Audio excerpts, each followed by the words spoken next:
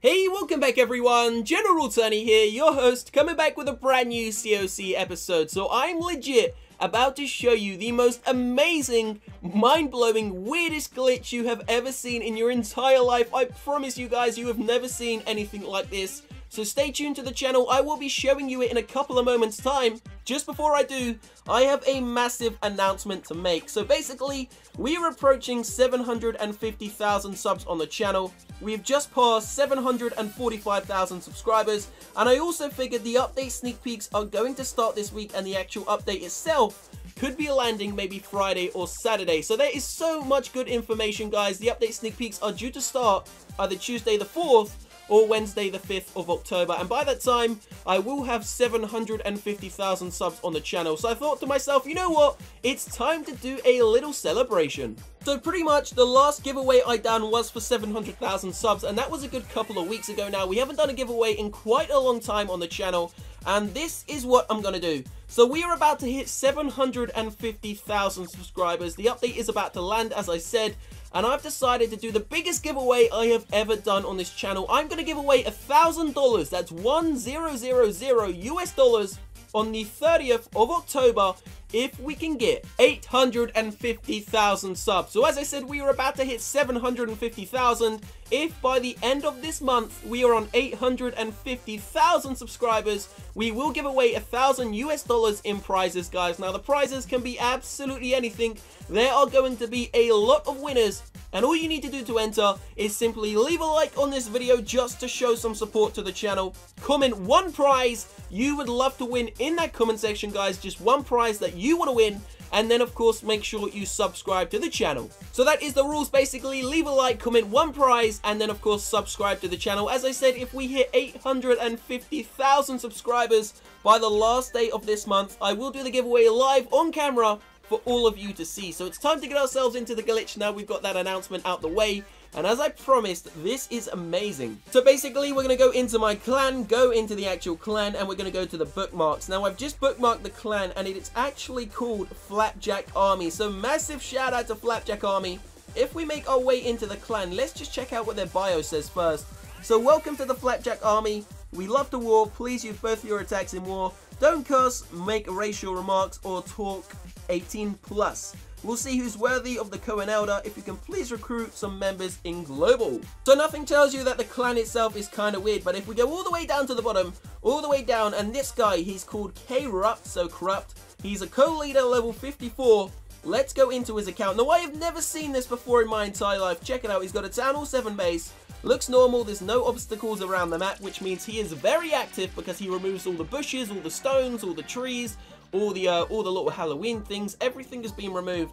Now, if we zoom into the core, what is going on there? He's got an air defense, a an elixir storage on top of his clan castle. Look, and if I click on it, it says clan castle. Then it says gold storage. And can we click on the... It says mortar as well. Wow, there's a mortar, an air defense, an elixir storage, and a clan castle all in the same spot. How is that possible? And then, of course, if we go over here, you can see right next to it, there's a dark elixir storage, a gold storage, and an elixir storage all on one area. I have no idea what's going on inside of this base. This is the most amazing one, though. The Flapjack Army, officially the most glitched base I have ever seen in my entire life. Have you ever seen anything quite this weird, guys? So don't forget, if you have anything whatsoever cool to send me, if you have any glitches, anything cool whatsoever to send me, if you want it to be featured inside of a video, there is an email address in the description box down below the video, guys. Make sure you drop me an email. I'll check it out and try and respond. So let's take one last look at the Flapjack Army just in case any of you want to check it out. It is literally called the Flapjack Army. It's a level 5 clan and the actual member is called Corrupt. One of the weirdest bases I have ever seen in my entire life. Now obviously as I said the update sneak peeks are going to start coming out hopefully on Tuesday the 4th or Wednesday the 5th of October according to the Supercell official on the forum as he posted it on Friday night saying that the uh, the sneak peeks were going to start this week.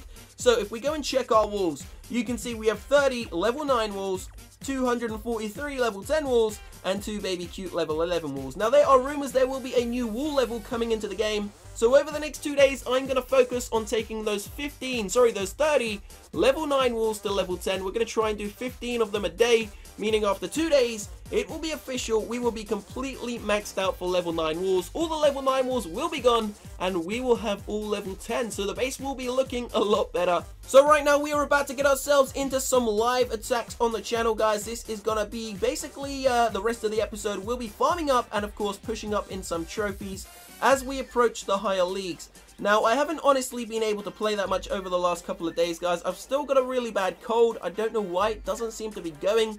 So hopefully it goes by the time the, uh, the sneak peeks start because I want to have a lot of energy to play for hours. So here we go. It's time to get ourselves into a live attack. Now, I'm not going to lie to you. The loot still sucks here inside of the 4K trophy range. Really not the greatest. So we're going to look for a decent base and see what we can find.